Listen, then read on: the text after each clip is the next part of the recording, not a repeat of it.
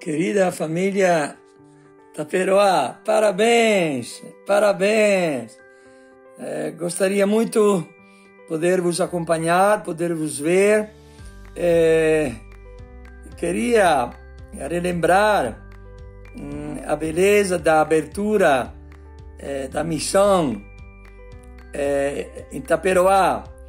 É, foi é, um começo muito diferente dos outros. Né? Tivemos missões, eh, tivemos repetidas eh, idas lá através do, de missionários como Cícero, o Carlos e depois todo o grupo.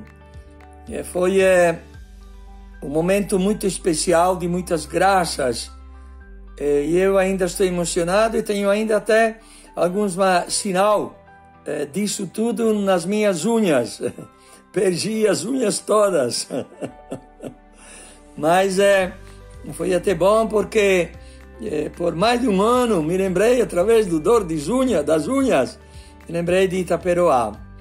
É uma, hoje leia o Evangelho que fala que o reino de Deus é uma pequena semente, né? é um grande mostarda e é, é como algo que se coloca na farinha, o fermento esta pequena semente, porém, eh, se vocês, eh, né, se vocês, casal, família, com os outros educadores, têm a presença de Jesus no meio, e têm uma vivência forte com Deus, e têm uma união forte com Ele, esta semente vai dar fruto.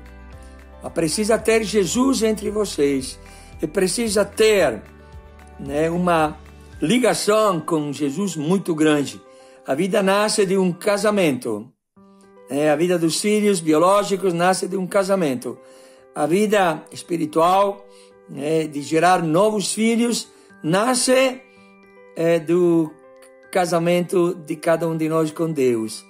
E a vida é, ao nosso redor nasce é, se nós nos queremos bem e temos Jesus presente no meio de nós. Nunca esqueçamos isso casa do menor é uma obra de Deus, ela não é, não depende só das capacidades das pessoas. As nossas capacidades humanas é, são importantes, mas é, se elas forem emprestadas a Deus, aí Deus faz milagre. Mas só as nossas capacidades não conseguem gerar a vida. Sem mim, nada podeis fazer. Eu tenho certeza que esta semente que foi jogada lá dois anos atrás, ela está dando é, frutos, que esse grande mostarda está crescendo e muitos passarinhos vão é, se abrigar à sombra.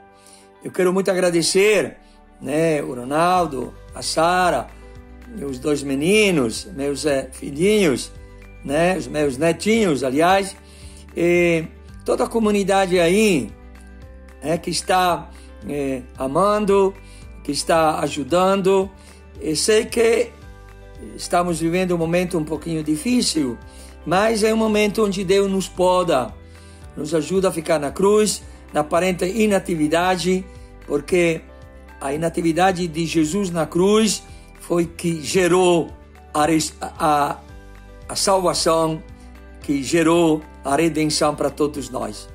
Eu quero dar um abraço grande também às crianças, a cada menino, a cada menina, a cada filhos. E ontem mesmo, é, anteontem, falava sobre é, o novo terreno, o novo espaço que deveríamos procurar é, para dar um futuro grande à, à Casa do Menor ali em Itaperoá, porque o povo dali precisa e merece. Um abraço grande, eu renovo o meu pacto de unidade a todos vocês Neste momento eu estou um pouquinho ansioso porque o Adriano não está passando bem. Vamos rezar porque ele está se preparando para voltar a Deus. Está se preparando para voltar a Deus. É, e vamos também pensar nisso nós. Tudo passa também a casa do menor. Aquilo que fica é o amor que nós deixamos e vivemos. E, e, tudo passa, só Deus fica. Então nunca esqueçamos isso. Então vale a pena ir atrás de Deus, vale a pena seguir a Deus, e, vale a pena seguir a Deus juntos, é família vida. Seguir a Deus juntos. Amém.